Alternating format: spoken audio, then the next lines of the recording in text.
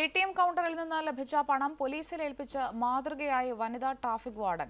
Karamana P R S ആശുപത്രിക്ക് സമീപമുള്ള S B I കൗണ്ടറിൽ നിന്നാണ് ട്രാഫിക് വാർഡൻ ശൈലജയ്ക്ക് ഏഴായിരം രൂപ കിട്ടിയത്.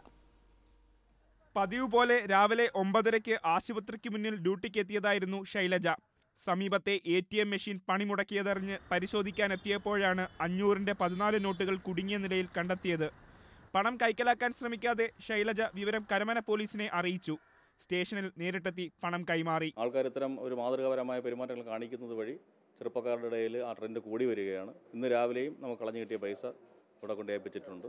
അപ്പോൾ ഇങ്ങനെ പോലീസ് സ്റ്റേഷനിലും മറ്റ് നിയമ സംവിധാനത്തിലൂടെ കൊണ്ടേൽപ്പിക്കുന്ന സത്യസന്ധമായ പ്രവൃത്തികൾ കൂടി വരികയാണ്. ഇരുപത്തിമൂന്ന് വർഷമായി ശൈലജ ട്രാഫിക് വാർഡന്റെ കുപ്പായമണിഞ്ഞിട്ട് ഭർത്താവ് ട്യൂഷൻ അധ്യാപകനാണ്. ഇവരുടെ തുച്ഛമായ വരുമാനമാണ് കുടുംബത്തിന്റെ ഏക ആശ്രയം. സാമ്പത്തികമായ ബുദ്ധിമുട്ടുകൾ അലട്ടുമ്പോഴും സത്യസന്ധത വെടിയാൻ മുൻ അത്ലറ്റ് കൂടിയായ ശൈലജ തയ്യാറല്ല. ഞാൻ സത്യസന്ധമായിട്ടാണ് നാളിതുവരെയും പെരുമാറി വന്നിട്ടുള്ളത്. മറ്റു എന്റെ ഹസ്ബൻഡ് തന്നെയാണ്. ഹസ്ബൻഡ് തന്നെയാണ്. ആരുടെ ഒരു ആരുടെ ഒരു മുതലും പെർമിഷൻ ഇല്ലാതെ വാങ്ങരുത്. തന്നാൽ വാങ്ങിക്കാം ഇല്ലാതെ വാങ്ങരുത് എന്നുള്ളത്. ഇതിന്റെ പ്രചോദനം എല്ലാം ഹസ്ബൻഡ് തന്നെ ഏഷ്യാനെറ്റ് ന്യൂസ് തിരുവനന്തപുരം.